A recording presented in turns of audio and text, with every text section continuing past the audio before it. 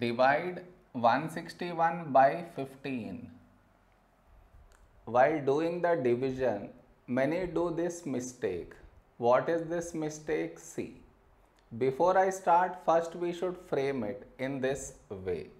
See, that is 161 and 15 here. Okay, next.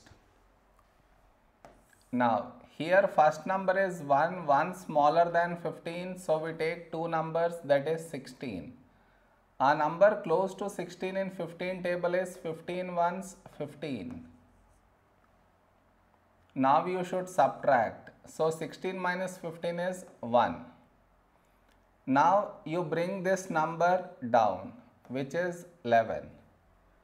Till here clear? This is where many do the mistake. What mistake do they do is see. Here we have 11. 11 is smaller than 15. So they directly take point and take 0 here which is wrong. You brought one number down that's it for that step. Here itself you cannot take decimal and 0 here. So now you should think to this number what should we multiply to get a number here. So if we multiply with 1 we get 15 that is more than this. So we should multiply by 0. So 15 into 0 is 0. So now you subtract you get 11. Over here we did not bring any number down.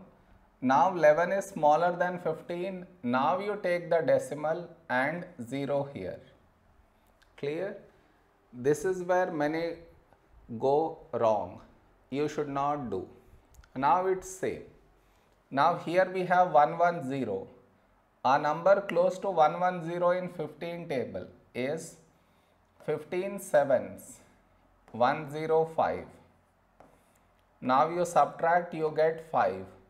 Now you directly take 0. A number close to 15, 15 table is 15 3 is 45.